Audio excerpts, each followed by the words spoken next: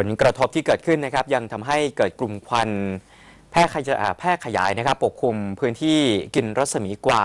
1.5 กิโลเมตร รอบจุดเกิดเหตุนะครับ ก็ทำให้ชาวบ้านที่อาศัยอยู่ในพื้นที่ใกล้เคียง ได้รับผลกระทบด้านสุขภาพอย่างหนัก โดยเฉพาะผู้สูงอายุและเด็กนะครับ เกิดโรคระบบทางเดินหายใจ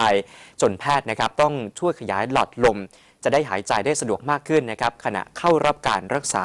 ที่โรงพยาบาล ชิปโฟกัสเรื่องนี้กับคุณอาคิระกิตนะโสภาแม่ของน้องลูกกอล์ฟวัยหนึ่งขวบ 9 เดือนกำลังอุ้มน้องลูกกอล์ฟให้ออกซิเจน เพื่อขยายหลอดลมจะได้หายใจสะดวกขึ้น หลังจากที่น้องอยู่ในพื้นที่ได้รับผลกระทบจากเหตุเพลิงไหม้บ่อเก็บขยะที่แพร่กษาจังหวัดสมุทรปราการ ก็เขาก็เออแบบหายใจแล้วพิทัดพิทัดนะคะหายใจไม่ออกตอนคืนอะ หลังจากที่ตอนวันที่เขาได้ควันมาถึงแม่บอกอะค่ะแล้วอย่างนี้มาหาหมอหมอบอกว่าเขาเป็นไงบ้างครับ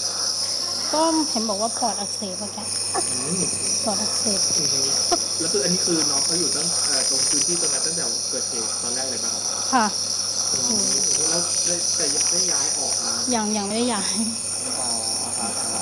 ก่อนหน้านี้น้องลูกกอล์ฟได้ให้ออกซิเจนมาแล้วถึง 2 ครั้ง แต่อาการยังไม่ดีขึ้น แพทย์คาดว่าน่าจะเป็นปอดอักเสบ จึงให้นอนที่โรงพยาบาลเพื่อดูอาการก่อน เช่นเดียวกับชาวบ้านที่อาศัยอยู่ใกล้กับบริเวณที่เกิดเหตุอีกราย เล่าเหตุการณ์ในพื้นที่ว่า ขณะนี้ชาวบ้านได้รับความเดือดร้อนอย่างหนักคือผมไม่ได้เข้าไปแต่ว่าผมอยู่ที่บ้านเนี่ยเห็นเลยข้างบนน้องฟ้าเนี่ยควันเต็มไปหมดเลย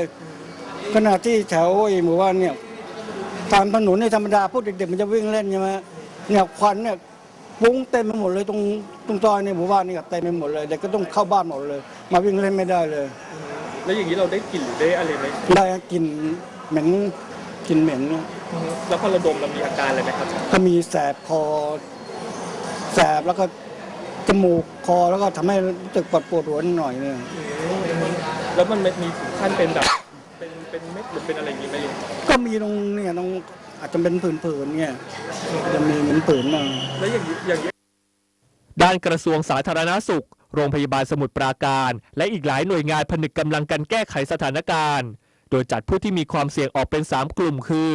1. กลุ่มผู้มีความเสี่ยงสูงสุด คือเจ้าหน้าที่ที่ยังคงปฏิบัติหน้าที่อยู่ในจุดเกิดเหตุ กลุ่มที่มีความเสี่ยงอันดับ 2 คือผู้ที่อาศัยอยู่ หรือต้องเข้าไปในพื้นที่ระยะ 200 เมตร จากจุดเกิดเหตุ และระยะสุดท้ายคือผู้ที่ไกลออกมาจากระยะแรกและระยะที่ 2 แต่ยังคงได้รับผลกระทบอยู่ ผู้อำนวยการโรงพยาบาลสมุทรปราการจึงแนะนำให้ชาวบ้านย้ายออกจากพื้นที่ แต่หากจำเป็นต้องอยู่ก็ต้องหาวิธีป้องกัน ถ้าเจอควันมากๆสถานการณ์มากอาจจะต้องใช้ผ้าชุบน้ำโปะหน้าหายใจทางผ่านน้ำไปก่อนผ่านอะไรผ้าบางๆอะไรอย่างนั้น อันนั้นอาจจะต้องเป็นมาตรการเบื้องต้นอะไรเงี้ยไม่ต้องทำอะไร แล้วก็จะดูประวัติการเอ่อสัมผัส นานเท่าไหร่ ระดับไหนบ้านอยู่ตรงไหน มีโรคประจำตัวอะไรไหมหรือว่ามีพฤติกรรมเรื่องสูบบุหรี่หรือกินเหล้าหรืออะไรหรือไม่นะหรือคนออผู้สูงอายุคนท้องหรือเด็กอะไรอย่างเงี้ยมันต้องดูตัวอย่างประกอบกัน ซึ่งคุณหมอก็จะประเมินดูว่าให้คะแนนนะนะเขาเรียกว่าสกอร์นะครับนะว่าอันนี้เนี่ยมันสมควรที่จะต้องเจาะเลือดพิเศษหรือเปล่า กรมควบคุมมลพิษแสดงให้เห็นทิศทางลมจากจุดเพลิงไหม้บ่อขยะที่ซอย 8 นิคมอุตสาหกรรมบางปู หมู่ 4 ตำบลแพร่กษาอำเภอเมืองจังหวัดสมุทรปราการทำให้ประชาชนในพื้นที่ใต้ลมในรัศมี 1.5 กิโลเมตร อาจได้รับอันตรายจากปริมาณฝุ่นขนาดเล็กก๊าซคาร์บอนมอนอกไซด์ก๊าซซัลเฟอร์ไดออกไซด์ที่สูงเกินค่ามาตรฐาน จังหวัดสมุทรปราการจึงประกาศให้พื้นที่บริเวณบ่อขยะเป็นพื้นที่ประสบภัยพิบัติเพลิงไหม้แล้ว และได้อพยพบ้านเรือนที่อยู่ในรัศมี ย้ายไปอยู่ที่ทำการอบตแพร่กษา